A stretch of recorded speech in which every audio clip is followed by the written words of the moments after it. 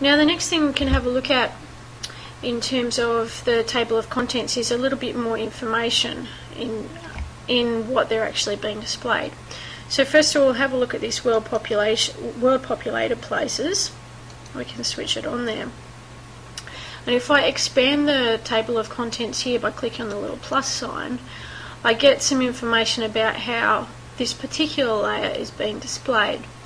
So what it's telling me is that the cities with lower populations have smaller yellow dots and the more populous cities have the larger yellow dots. Now at this sort of scale it's actually difficult to see where those large and small yellow dots are. So this is where we can start to use some of our navigational tools to zoom in and out of different areas.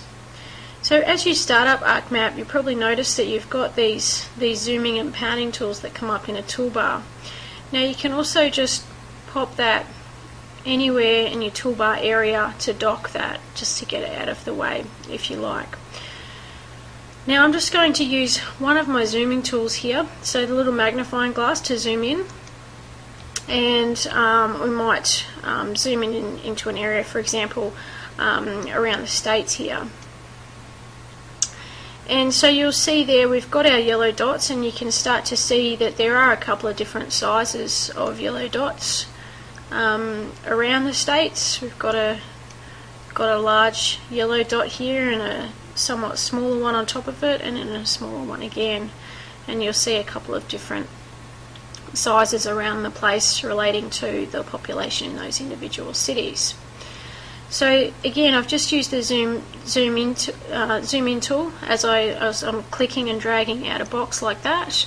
Um, to zoom back out, I do exactly the same. So I click and drag out a box, or I can just individually just click on an, a, a spot in the image, and it will zoom out by a set amount.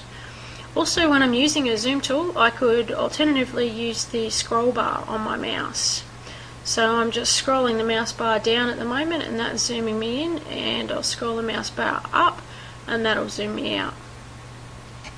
I've got extra zooming tools here so to, to zoom in and to zoom out um, and this the panning tool here so the hand if you'd like to move around an area okay the other thing that's uh, I usually find quite useful is this, this button that looks like a globe and that, that'll zoom me back out to the full extent of the data set. So that I'll go back out all the way and that's useful if you get lost by either zooming in or zooming out a little bit too far.